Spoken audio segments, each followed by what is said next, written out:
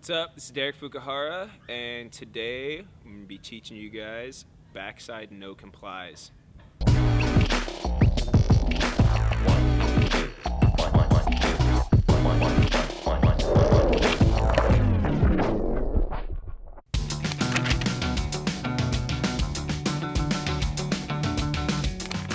So first, you want to find a nice skate park, lots of flat ground.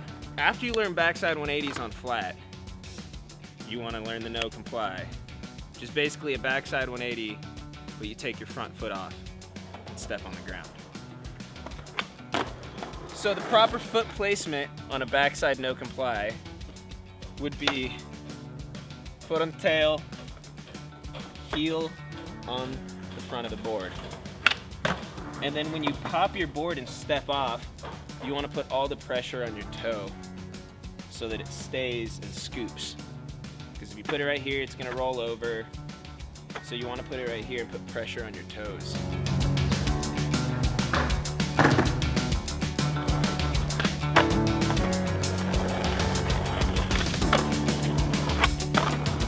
Step off and then scoop with your toe to get it around scoop behind you.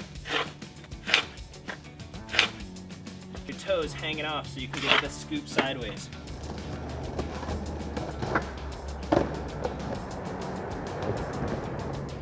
And then just follow your shoulders, roll away, Instagram it, post it on Facebook, see how many likes you can get, see how popular you are.